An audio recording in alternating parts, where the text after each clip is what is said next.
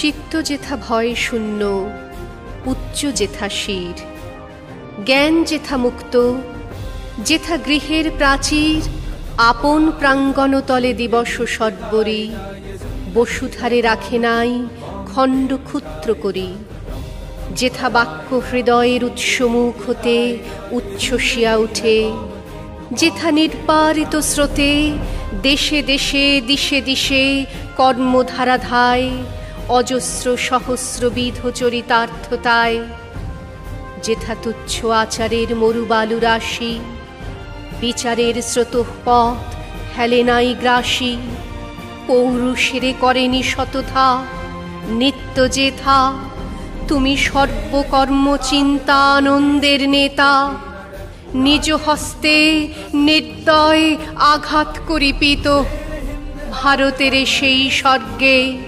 কর জাগরিত।